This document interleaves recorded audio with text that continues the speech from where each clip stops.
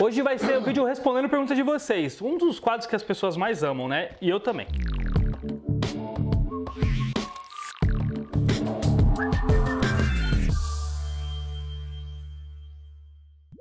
Antes de começar, deixa o seu like, ajuda nós. Pô, tem que pedir like, porque se não pedir like, vocês não dão like. Nem deveria, né, mano? Já deveria ser automático. Clicou pra abrir, já clicou no, no, no joinha. É, deixa o like, ajuda muito E a se gente, inscreve, né, mano? E, e ajuda muito o canal, e se inscreve Ah. e segue nós também. Por favor. E eu vou deixar o número da- do Pix aqui pra vocês também fazerem transferência. Mentira. Perfeito. Primeira pergunta aqui é do SKR Yuri. Qual é o seu sonho, no caso do sonho de vocês, né? Você já realizou ele? Qual é o meu sonho? É. Pô, dura essa pergunta, né? É, mas aí você, mano, prioridades na vida. Prioridades. Escolhe o que é o seu sonho. É que eu tenho sonhos Sim. em escala, né? Então, vai já no, no- topo. No topo? Não, acho que não realizei, porque se você realiza seu sonho maior, eu acho que você perde Acabou, o... né? Eu acho que assim, os sonhos eles são Mutáveis também. mutáveis. Então, o meu maior sonho, eu acho que desde sempre, na verdade, é primeiro ter uma casa própria, linda, gramadinho, cerca branca, uma seringueira com balança, desbicando do pipa e cercado de criança. Agora, falando sério mesmo, eu acho que, inclusive, essa música me causou um pouco deste Desejo. desse desejo de ter uma casa linda, assim, gramadinho. Imaginar esse, entre aspas, sonho americano, assim, sabe? Tipo, realmente esse é meu maior sonho. Sabe aquela foto que você vê duas crianças correndo, um cachorro pulando e a mulher e o cara? Tipo, esse é meu maior sonho, sem sombra de dúvida, tá ligado? Agora, claro que tem vários outros ainda pra, pra conquistar. Mas eu tenho certeza que depois que conquistar esse, meu maior sonho vai ser, tipo, visitar pelo menos um país em cada continente. Depois, mano, dois, tá ligado? E assim Qual que vai. é o seu sonho mais próximo, assim, de realizar, ou um mais palpável no momento? Eu acho que o mais palpável no momento, primeiro, bater um milhão de- seguidores no canal. Acho que isso é um sonho para qualquer criador de conteúdo. Bater o primeiro 100 mil, depois o meio milhão e um milhão. Então, meu próximo sonho profissional é bater um milhão de seguidores no YouTube, no meu primeiro canal. E um carro. Um carro mais. Não que eu me importe muito com isso, mas é uma coisa que eu tenho pensado muito. Tipo, quero trocar de carro, quero trocar de carro. A minha casa, apesar de não ser própria, tipo, puta, a gente tá conseguindo deixar ela tão confortável, velho. Tá bem da hora, mano. Que isso era, mano, era um sonho. Esse era o, é, o sonho da casa, é, né? Obviamente, mas é que a casa que eu morava ela era muito ruim. Muito ruim. E não tinha paz dentro de casa. Então, fazer o que a gente fez aqui agora, mesmo que a casa seja alugada, é sensacional. Então, a casa hoje, tipo, dá pra aguentar uns bons anos aí, Não, é bem tranquilão. Então, agora eu pensar num carro que não, nunca foi minha prioridade, mas agora é. Tipo, eu quero, eu quero um carrinho melhor, tá ligado? Uma velarzinha. Mentira, não tenho, não tenho condição, não. Mas um carro, um carro, um Carrinho. carrozinho melhor. É um carrinho meio bosta. Mano, é, eu acabei de me mudar, não era um sonho, tipo, no começo do ano eu nem tinha esse sonho de Você me nem mudar. queria, né? É, nem queria. E agora, agora nem sei se eu quero. Pensando bem. É, virou uma parada assim que eu queria muito e as coisas aconteceram de uma forma até bem, bem rápida. E é uma parada da hora, assim. do- Quando eu criei a vontade e aconteceu, pô, fiquei muito feliz. Mas uma parada que eu queria muito, assim, que não é uma parada tão distante, é ir conhecer os Estados Unidos. Cara, você tava falando, eu pensei, puta, Pô, eu queria muito, mano. Eu queria muito conhecer os Estados Unidos. Ah, eu já iria comprar ali, ó. Acabou agora, a gente já comprar uma passagem pra ir pra lá, mano. É, eu queria muito, mano. Eu acho que hoje, assim, é meu sonho mais palpável, assim, né? Mas que ainda é meio distante, porque, É. pô, o dólar tá um zilhão de reais. Mas é uma parada, assim, que eu queria muito, ano que vem, realizar isso, tá ligado? Acho que é o meu sonho mais Esse ano nem a pau. Hã? Esse ano você não iria nem a pau. Não daria tempo também, né? Já só Esse ano não em dezembro já. como, até porque minha namorada não tem visto. É verdade. Já vou Então- deixar, ela assiste os vídeos. É. Não é um impeditivo, porque eu tenho família lá agora. então, uma... pois é, né? Eu tenho É, agora, agora que eu tenho família lá, Ela que fique. é, Magri, duas dá duas. seus pulos agora. Ou você resolve essa parada ou você vai É, acabar ou eu ficando. vou visitar a minha família lá. Aí, é- aí é a escolha sua no final das contas, né? Exato. Que vai, vai. Agora, se você quer ir ou Se não você quer, vai junto. aí já é outra história. Sim. E, pô, 100 mil, né? No banco, Zé.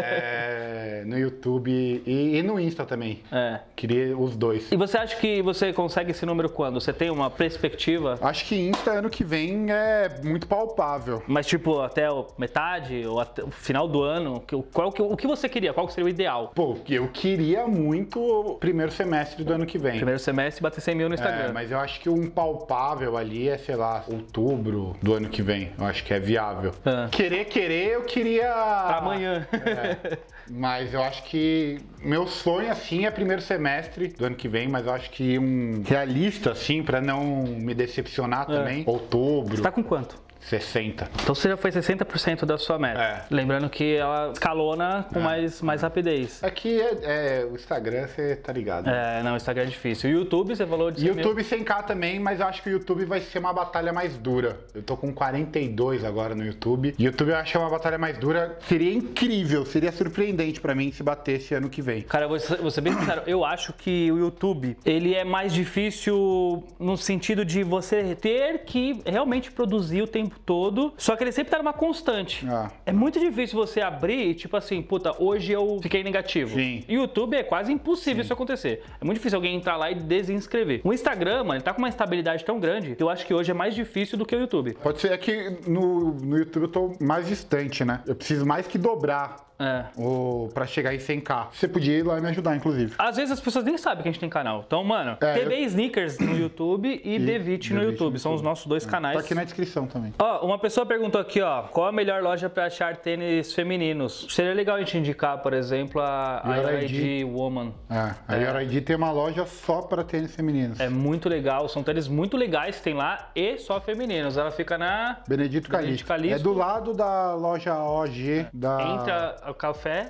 e a e Inclusive é muito legal ir lá conhecer, porque tem a, a- principalmente no final de semana, ali né? tudo, né? Tem a Praça Benedito Calixto, uma, uma feirinha ali com vários. Tem, acho que tem brechó ali, tem artesanato, tem várias coisas. Tem o café, tem a loja OG e tem a feminina. Então é, um passeio legal. Você acha que tem alguma marca que. eh, Quem perguntou isso foi GCVKKKJ.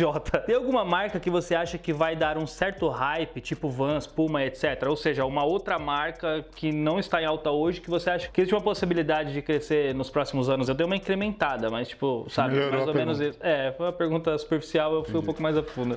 Então, ano passado a gente discutiu bastante sobre isso, É. onde parecia que a New Balance É. ia assumir esse terceiro posto e brigar ele por um possível segundo posto. É. Engraçado, esse ano eu acho que ninguém se moveu tanto assim. Eu acho que ficou mais distante o segundo colocado. O terceiro colocado, no caso. É, o segundo colocado ficou mais distante do resto. Ah, sim, entendi. É, hoje, mano, quem, quem tá na cena é a Nike e a Adidas. E a Nike disparada na frente, a Adidas ali, mano, se mantendo por conta do, do peso do nome. Basicamente, não vejo inovações. Acho que foi o último, o vídeo que eu postei no domingo, foi. Eu falei um pouco sobre cada uma das marcas e falei que, tipo, New Balance e Puma, elas tomaram uma posição de, mano, estamos preocupados com outra coisa. A Vans é uma marca que faz muita coisa legal. Muitas collabs legais Muita pra caramba.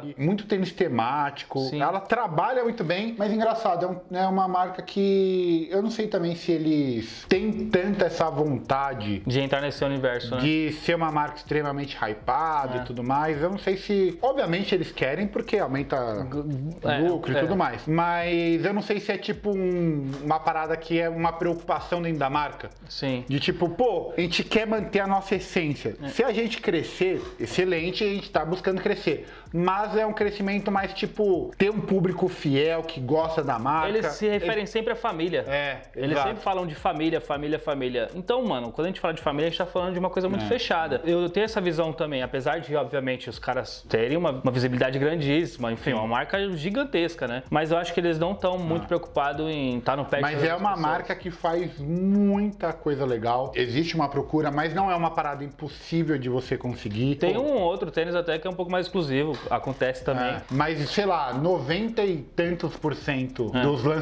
assim, lançamentos legais, não tô nem falando de, sei lá, de GR que tem na loja. Sim. De collab, de, de temas, não sei o quê. Dá pra você ir atrás e comprar, assim, sem se matar. Sim. Então é uma marca legal. Se você tá querendo investir numa uma terceira acho, marca aí. eu acho que a diferença entre, vamos supor, a Nike que a gente acabou de falar é uma Vans, é que, tipo, a Nike ela te procura, ela te acha e você é fisgado por ela. No caso da Vans, você em algum momento vai atrás porque é uma coisa que te chamou a atenção. Acho que eu consigo ver mais ou menos dessa forma. A Nike ela procura todas as pessoas, ela tenta encontrar todas as pessoas em todos os lugares. A Vans não. Vai ser um momento que, deixa eu conhecer esse- essa parada aqui. Puta, legal. Vou ficar ou não vou ficar, tá ligado? Eu acho que é mais ou menos isso, tá ligado? Mas Não talvez a Vans aí, já que todas as outras meio que É. foram para outro lugar, talvez a Vans seja uma marca que tenha um, um crescimento maior aí nos próximos anos. Eu, eu acho que a gente imaginar que possa acontecer esse tipo de, de, de crescimento da marca e tentar, de alguma forma, pegar uma maior fatia do público, acho que eles vão ter que imaginar uns no- umas novas silhuetas também, né? As silhuetas um pouco mais atléticas, fugir um pouco da linha do skate ou, ou É, dessa pode pegada um pouco mais baixa, enfim, pra tentar, de alguma forma, chegar num outro público. Porque às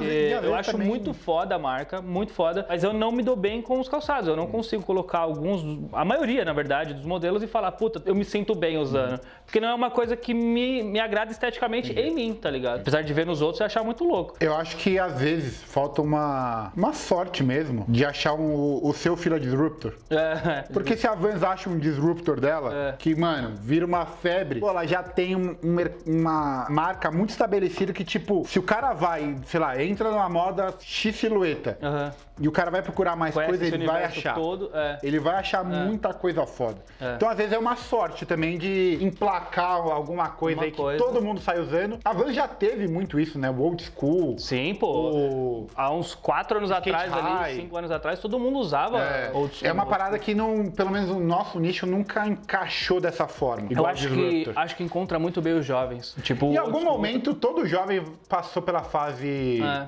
Vans. Sim, Tá então, ligado? acho que eles, eles se encontram muito bem ali. Olha essa que filósofa.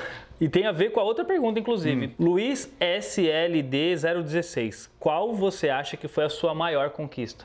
A minha maior conquista. Caramba, agora eu fiquei, mano, em choque pra responder. Minha maior conquista é conseguir viver do, da minha produção de conteúdo. Cara, eu, eu ia falar isso. A minha maior conquista foi poder, primeiro, ter uma coisa que eu jamais imaginei na minha vida que poderia ter, que era tranquilidade, paz.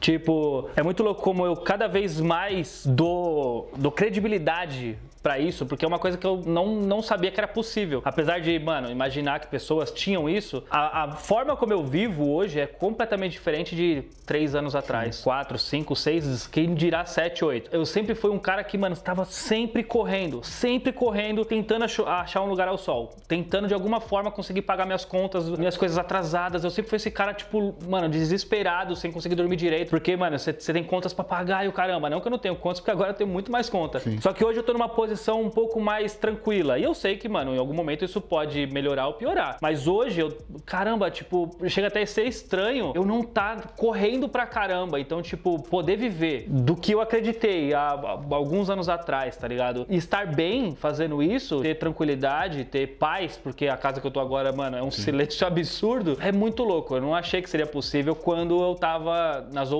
casas que eu passei. Enfim, eu poderia ser mais profundo aqui, mas é isso. Tipo, são duas palavras que me pegam muito hoje. É, eu lembro quando eu me formei em arquitetura, pô, minha vida tava de cabeça pra baixo, assim, milhões de coisas acontecendo. Dois anos antes de eu me formar, eu tinha um- uma parada muito clara na minha cabeça. Bom, vou me formar em arquitetura, vou continuar trabalhando no escritório que eu tô. Daqui a três, quatro anos eu me caso. E é isso, tá ligado? Eu já tinha um, Nossa. um bagulho, tá ligado? Daí, pô, terminei meu namoro, não conseguia trampo em arquitetura, fui fazer a faculdade de moda e eu lembro que, sei lá, primeiro semestre, primeiras semanas de aula, assim, na, na faculdade de moda, eu lembro que eu falei pras minas, eu vou viver de, de tênis, tá ligado? E agora, quatro anos depois, pô, eu tô vivendo. É, isso é bom, mano. Você falou uma coisa, eu até quero ver se tá aqui. Tipo, é, a fórmula da felicidade é se formar com 23 anos, começar a trabalhar, sei lá, com 27, casar com 30, ter filho com 33 e conhecer a Europa até os 40, não sei o que. Eu falei, caramba, acabei de perceber que eu sou o cara mais triste do mundo porque eu não Ah. fiz absolutamente nada disso, né? Tipo, essa fórmula da felicidade já nem É, existe não mais, existe, mano. Você é não louco. Cada um tem o seu próprio tempo, tá ligado? Então é muito louco. Você falou um bagulho que era parecido com isso aí. Eu, eu pensei. Agora, respondendo a outra pergunta, como você se vê daqui a 10 anos? Com 41 anos. eu me vejo com 35 anos daqui a 10 anos, mano. Nossa, velho, imagina eu com 35 anos. Pô, eu, eu, o- eu já conversei isso na terapia. Deixa eu, deixa eu fazer cara de inteligente A pra minha, parecer que tá na a terapia. minha, meu objetivo, né, é pô, não ter minha de marca, inteligente. é ter minha marca estabelecida no mercado, ser um cara que Antes você conclua, rapidinho, como que você gostaria de ver a sua marca posicionada no mercado? Tipo uma Pace, mais uma, uma Ball, uma, uma Ball, vai. right? Pace ou Ball? Mais pace. Mais Pace, mais limitada, mais pensando. Na verdade, o meu foco, assim, até esteticamente, é alguma coisa muito parecida com a Million Dollar e Fear of God, assim. Aham. São marcas grandes, mas são não são vendendo em fast fashion, não sei o que. Não que isso seja ruim, pelo contrário. Mas o meu objetivo é uma parada mais assim, tá É ligado? porque você sabe que você vai con- é, conquistar isso antes dos 10 anos, né? Tipo, você ter a sua marca e ela já estabelecida no mercado, eu acho que antes de 10 anos. Por isso que eu perguntei 10 anos, se em 10 anos ainda você imagina que a sua marca seria dessa forma, tipo uma parada fechada, nichada, pensando em poucas Ah, peças. e Pô, é que, que nem hoje, hoje, Hum, é difícil imaginar você. a minha marca não existe, né? É. Então é difícil projetar uma parada que ela ainda não existe. Pô, se ela for muito maior do que isso, É. coisa linda. Entendi. Mas se ela estiver nesse patamar daqui a 10 anos, que eu imagino. É, mas eu- o grande pode ser você tá fazendo desfile em Paris, tá ligado? Não. Só que não quer dizer que você tá vendendo para um milhão de pessoas. Você ainda tá atingindo um público pequeno, mas a sua marca tá gigante. É, tipo a Emilion Doro, mano, tá fazendo collab com umas paradas absurdas. Ou tipo a Kif, que tem collab com a BM, Aham. tá ligado? E não é uma marca É. mainstream Então é, zona, tá ligado? é esse é o seu foco. Ah. Coisas exclusivas, pouco mais gigante. É, é uma parada que, tipo, quem olha e fala assim, caralho.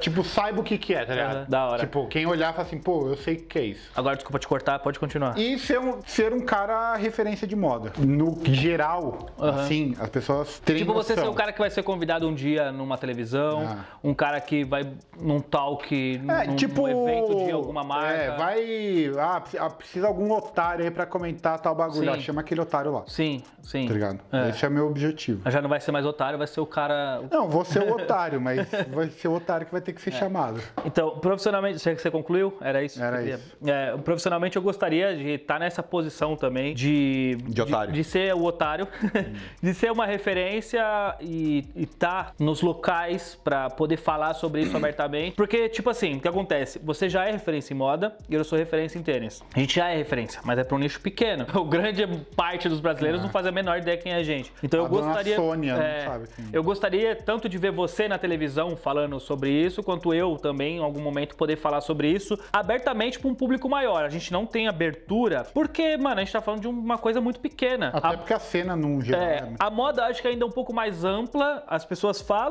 de moda na TV, tem programas de moda na TV, apesar de ser uma moda diferente Uhum. do que rola dentro do Brasil. E normalmente os os, formatos, ou eles são americanos ou são copiados dos americanos. E aí, Ou são femininos. é, ou são femininos. Então, os comentaristas são, são comentaristas que falam sobre alta costura e etc.